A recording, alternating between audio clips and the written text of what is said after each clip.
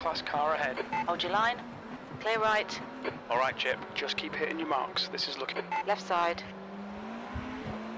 Hold your line. Clear left. Bad luck, Rex. Got 10 minutes of fuel remaining.